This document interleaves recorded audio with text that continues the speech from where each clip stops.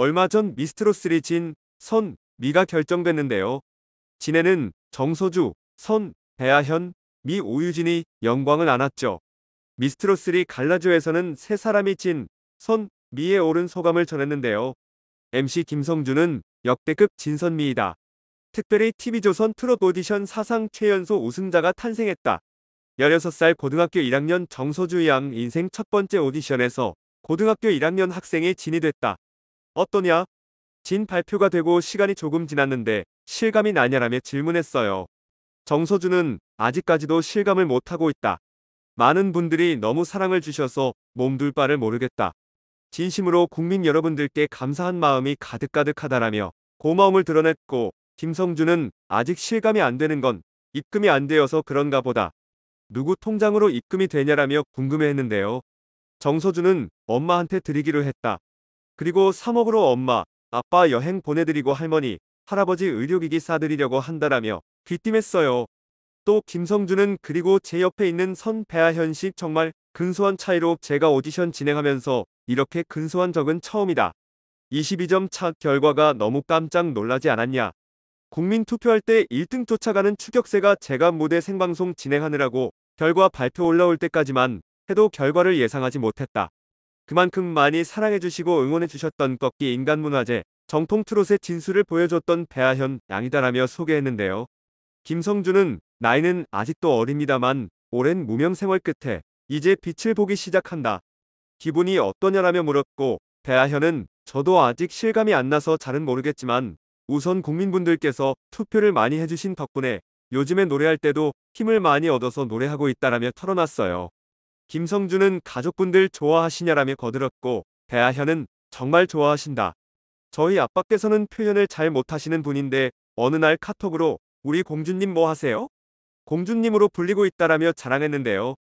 김성주는 오유진에게 그리고 미스트로3 톱7 가운데 나이가 가장 어리다. 미 오유진 양 중학교 3학년 학생이고 15살이다. 아주 당당하게 미를 차지했다. 근데 뭐 방송 보시면 중3 같지 않다. 감회가 남다를 것 같다라며 감탄했어요. 오유진은 아무래도 그 어떤 경연이나 대회보다 미스트로3에서 3등인 미를 했다는 게 가장 기쁘고 좋고 제가 미를 할 수 있었던 건 저를 항상 사랑해주시고 지지해주시는 국민 여러분들이 있기 때문이라고 생각해서 다시 한번 감사드리겠다라며 고백했죠. 세 사람의 각각 인터뷰도 공개되었는데요. 먼저 정서준은 매 라운드 진, 선, 미 안에 포함되며 최상위권을 이어왔지만 고비가 없었던 것도 아닙니다. 포털 사이트 커뮤니티 등에선 가시 돋친 말들이 장대비처럼 소녀의 가슴에 내리꽂혔는데요. 그녀에게 그동안 댓글은 칭찬으로 가득한 세계였는데 지옥이 따로 없었어요. 그래서였을까요? 생방송 결과 발표 전까지도 아현이 언니가 진이 돼야 해요라고 했던 정서주였는데요. 정서주는 아현 언니한테 배울 점이 정말 많다. 언니처럼 노래 잘하는 사람 옆에 있으니 제 노래도 좀 나아지는 것 같다 라고 떠올렸어요.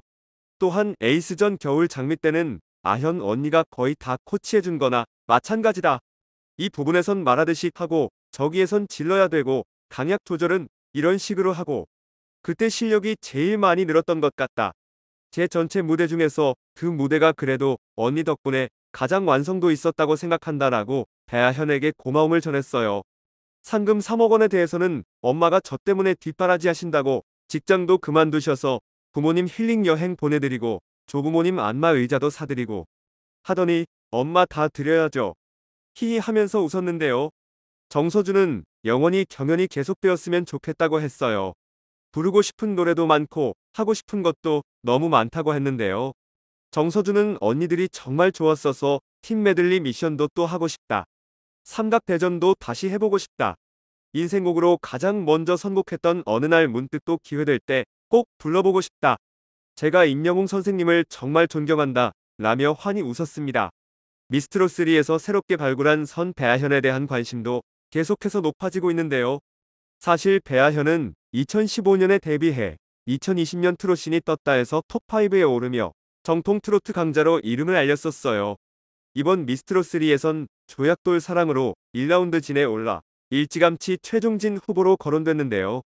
현란한 기교와 정확한 음정, 단단한 발성까지 배아현을 향한 마스터들의 극찬이 끊이지 않았죠. 그간 숱한 방송을 했지만 미스트로3 방송을 통해 그의 아버지도 처음 공개됐는데요. 하수구 밑으로 내려가 정화조 고치는 일을 하는 아버지는 팀 메들리전 당시 연습에 매진하는 딸을 위해 연습실 밖에 먹을 거리와 손편지를 남겼어요. 배아현은 아버지한테 난생 처음 받아보는 편지여서 감정을 주체하기 어려웠다고 했는데요. 인터뷰 중에도 눈물이 끊이지 않았다고 하네요. 배아현이 이번 경연을 치르면서 스스로 약속한 게 또 있다고 합니다. 유방암 환우들을 위해 기부하겠다는 것인데요. 지난해 엄마가 유방암 수술을 하면서도 자신을 돌보는 모습에 환우들이 함께 극복할 수 있게 조금이라도 보탬이 되고 싶다고 했어요. 그리고 방송 내내 많은 사랑을 받은 오유진은 결승에서 실시간 문자 투표 2위에 오르며 최종 미에 올랐는데요. 오유진에게 미스트롯3는 노래의 깊이와 폭에 대해 배웠을 뿐만 아니라 리더십을 일깨워준 프로그램입니다. 10대 참가자로 2라운드 챔피언부 팀전과 4라운드 팀 메들리 리더를 맡았는데요.